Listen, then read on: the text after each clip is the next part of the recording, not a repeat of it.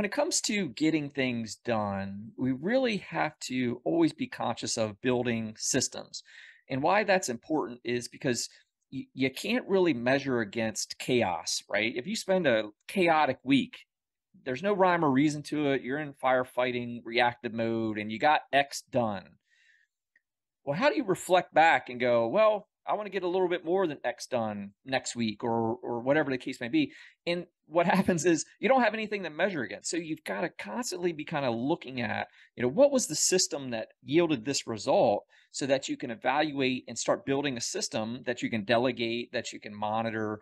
And then what you ultimately want to do is have this system running that runs itself. Your people run it. It's your business system. It's your operation system. It's your sales system. It's your marketing, whatever it is and it runs. And what you get to do then is manage the exceptions. You don't need to manage every nook and cranny. You built it, you know how it should work.